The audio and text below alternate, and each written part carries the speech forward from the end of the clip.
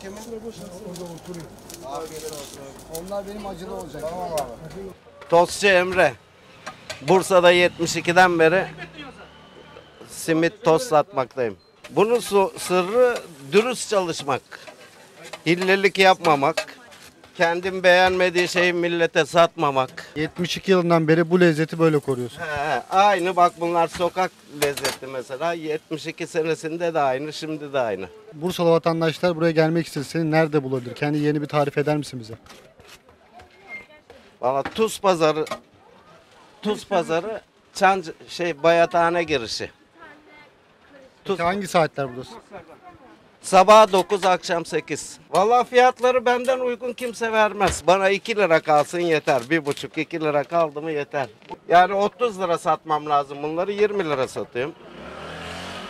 Az para çok bereket. Aza kanaat etmeyen çoğu iş bulamaz. Bir tane poşet bana.